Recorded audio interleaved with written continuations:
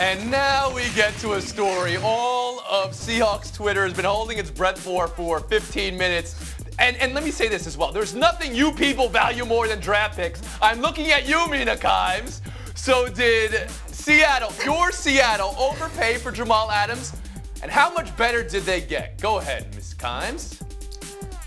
Yes, they overpaid, not just because of the draft picks, but also because of the impending contract extension. This was a coup for the Jets. That said, when you're evaluating trades, context matters. And the context, oh, that said, yeah, here we go. We've got it. That said. They've got a quarterback in his prime, a pass defense that was bad last year, a pass rush that needs help, and oh, by the way, they were inches away from winning their division.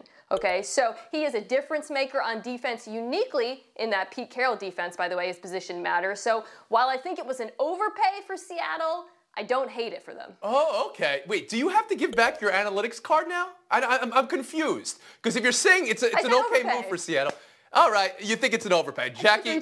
Jackie, how about you?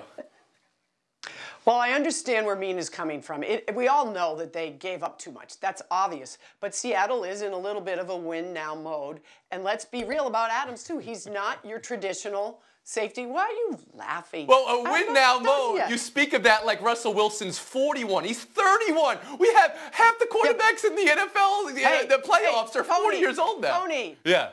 Tony, how old is Pete Carroll? Okay, he's decidedly older than 31. Good point, Jackie. I take it back. Get the point. Get the point. Okay, okay. and Adams is not your traditional safety, which we know is not the most important position on defense, not even the top two most important. Yeah.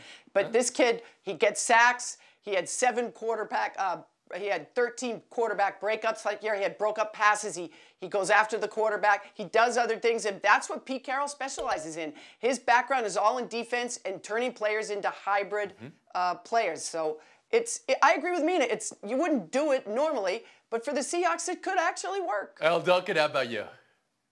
Let me just say, by the way, debating Mina Kimes about the Seahawks is like trying to debate Newton about the subject of motion. So I'm really glad oh, that we all actually please? agree on this. Come on. It is. It's the truth. Um, I'm glad no. we all agree that it certainly is, is too high a price to pay. Um, but I guess what I'm most curious about it, and maybe again, Mina, the analytics whiz, can tell me this, is it really seems like the Seahawks are sort of tripling down on run defense, which I suppose makes sense in a division where you're going to play the Niners twice, and, and a lot of what they do is predicated on the run. But you're also going to face a Cardinals team that's going to air this thing out. Uh, a Rams team that certainly didn't depend on their run at all last year. So to me, if we're all trying to keep up with the Joneses and the Joneses being the Chiefs, they've proven you can have just an average run defense, but win a Super okay. Bowl if you can stop the pass. All right.